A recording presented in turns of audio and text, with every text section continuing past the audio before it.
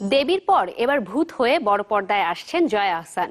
সুরিন্দম films প্রযোজিত ছবিটির নাম ভূতপরি, যেখানে নাম ভূমিকায় অভিনয় করবেন এপার বাংলার এই নায়িকা।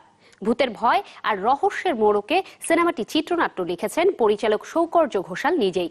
ছাব্বিশ আগস্ট কলকাতার বোলপুরে শুরু হবে ভূতপরি শুটিং। ছবির গল্প প্রসঙ্গে জয়া বলেন, ভূতের আত্মকথন এটি। যেখানে উনিশশো সাতচল্লিশ সালে মারা যাওয়া এক নারীর অতৃপ্ত আত্মার সাথে সাক্ষাৎ হয় এক বাচ্চা ছেলের, যার হাত ধরেই নারীটি অনুসন্ধান করে তার মৃত্যুর কারণ। ছবিতে জয়ার সহশিল্পী হিসেবে অভিনয় করেছেন ঋতিক চক্রবর্তী।